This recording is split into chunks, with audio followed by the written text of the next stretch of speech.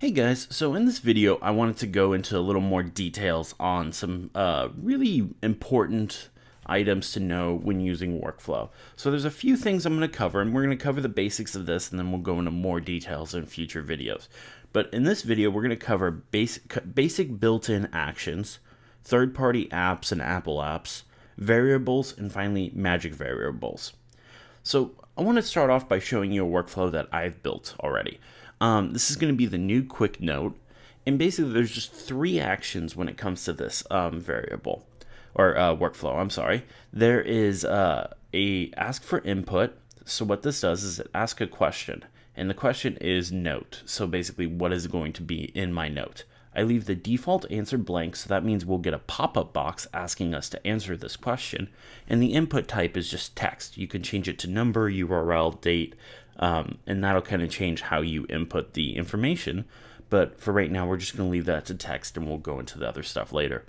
Um, then it goes to create note. So this is create a note in Apple Notes, and this is a um, first-party built-in um, action, and this just uses the x-callback URLs that we talked about last week, um, or in the last video. Um, and then it goes to Quick Look, which is basically just the normal default built-in Apple Quick Look feature. So let's run this variable, and you can kind of see what it does. So we'll click the start run button. So it asks us a question, what is the note? And we'll say test for workflow, I can't spell, workflow video creates the note. Uh, we'll choose a note. We'll click save.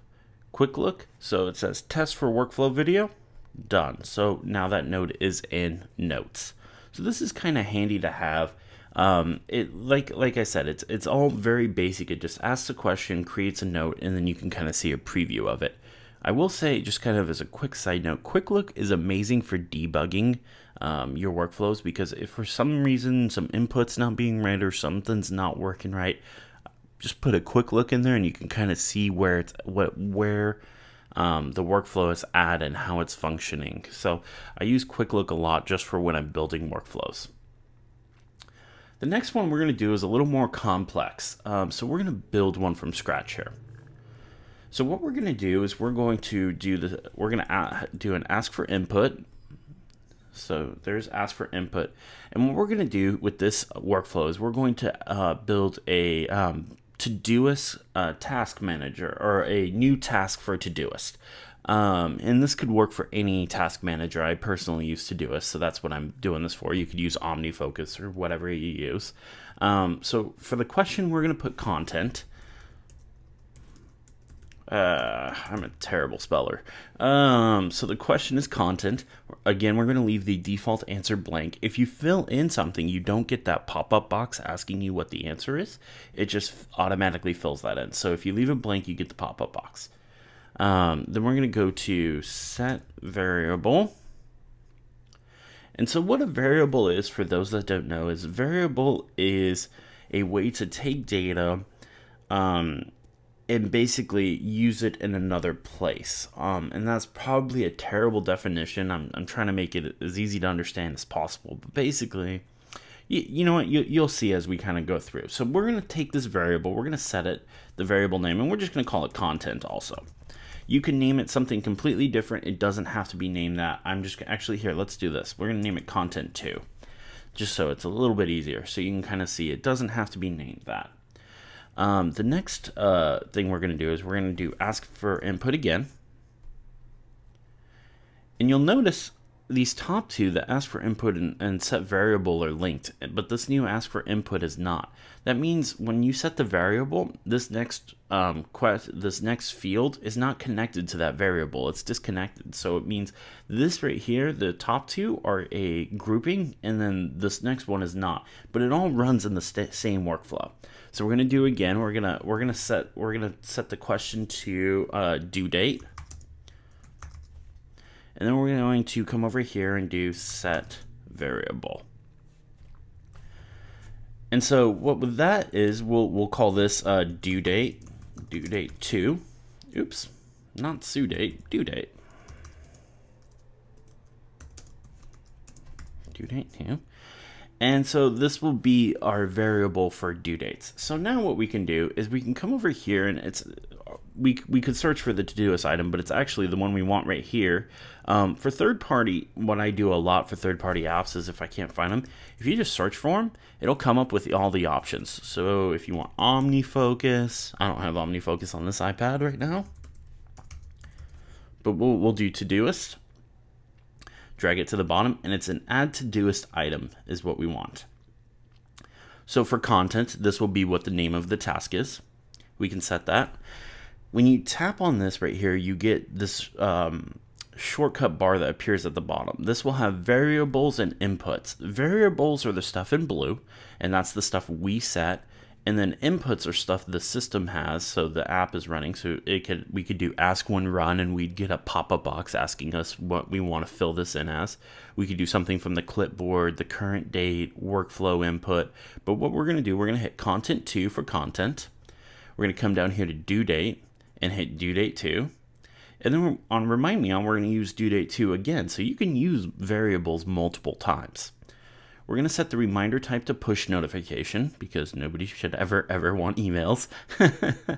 um, but we're also going to change one more thing. We're going to use an input also. So for project, instead of leaving it in an inbox, we're going to hit ask when run. And then it'll ask us what we want. So now what we can do is we can run this. So it'll ask us what the content is. We'll say test for workflow. Hey, I spelled it right this time. Due date, we'll say tomorrow at 8 a.m. And since Todoist uses natural language input, that'll be an okay way to do it. We won't have to use like a, um, a date picker or anything. That'll set it as the variable, and it's going to ask what we want the project to be. We're going to go ahead and just leave this as inbox, but you can pick any of these other stuff, um, including projects, uh, video projects, shopping, you know, anything that you have in your Todoist thing. And, and you know, all, all to-do apps work a little different. I just use Todoist. And then we're going to hit done. And then it's going to build that. And then you can, when you get this URL at the bottom, that means it's complete. Um, we could have added a quick look in there so we could kind of see what it was, but that's okay. We don't, we don't necessarily need that.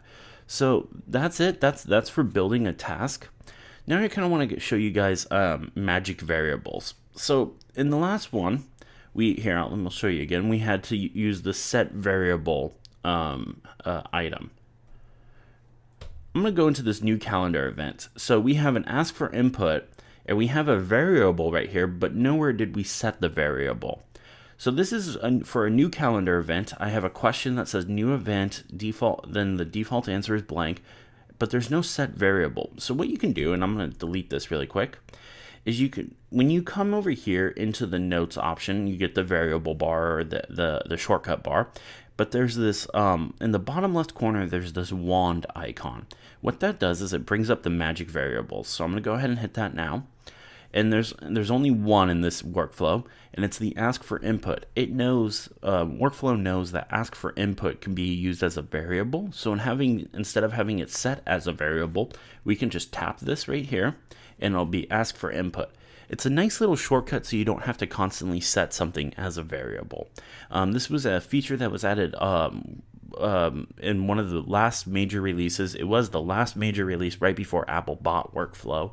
Um, so it's it's there now, um, and it's a really handy tool. It's really helped me when I've been building bigger workflows. It's helped me have not doesn't have so many items in the workflow, so it's a little easier to read and follow. Um, I personally think this is a huge, huge upgrade, um, and this is just a small taste of what Magic Variables can do. I just kind of wanted to show that off. So that that's that. I kind of wanted to show one last workflow of kind of how all this stuff works together. So I'm going to show a workflow every time I post a new video. I run this workflow. So this is the share new video. And basically what this does is I'll go out and get the URL for a video and then I'll copy it to my clipboard. So what this does is, and I'll kind of walk you through this, is it gets the clipboard, so it sees what's in my clipboard, which would be the URL to a video. It'll get the name, which will I will set as the title, the variable title. So that will be the title of the video. Then it gets the clipboard again. It grabs the URL from the input and then sets a variable as URL. And then I get an ask for input, so it'll ask me what hashtags I want to put when, when sharing this video. So I can put in iPad, iOS, automation, workflow, anything like that. Sets that variable as a hashtag. Then it puts together this text, and what text does is it's um, puts together a um, a formatted text option, and you can do things with emojis like you see here. So I have the sirens. It says new post, and then in quotes there's the title, so the title of the video the hashtags and then at the bottom a URL to use it. So if you've seen my Twitter account when I when I share new videos, that's how I get these formatted the same every single time. Then what that does is that copies all of that text and so it takes the variables and makes those regular text and all that stuff. Um, copies that to my clipboard and then opens the two Twitter accounts I use. So I have one for the Untitled site and my personal one and then I can share those to so I can tweet those out. So I'll get a pop up box that'll ask, "Do you want to tweet these?" And I hit tweet, and then after that, it takes the URL input, copies it to my clipboard, and does open in, and then from there I can I can post it to my Squarespace blog. So this is a little more complex than the other ones that I was showing. Um, I really, really like this one. I've, I've used it for a while and I always tweak it just a little bit more to make it run just a little more efficiently. And where it's at right now, it really works well for me. So this is just kind of a small taste of the things you can do with variables, built-in actions, and, and um, third-party applications. So I'm really happy with the way these have turned out. Um, if you have any questions about these, um, leave it in the comments below. Like I said, I'm going to do a big, I'm going to do a, a, deeper dive now that we've kind of established a base for these. I'm going to do a deeper dive into these videos, or I'm sorry, into these inputs. I'm tripping all over my words today. Um, I'm going to do a deeper dive into these inputs and uh, go into a little more complex stuff. But I wanted to establish the base of what everything is. So if you have questions, leave them in the comments below, and I'll, I'll answer them in the next video. Thank you guys for watching so much. If you're liking what I'm doing here with this automation stuff, please like and subscribe. It really does help out. Thank you guys.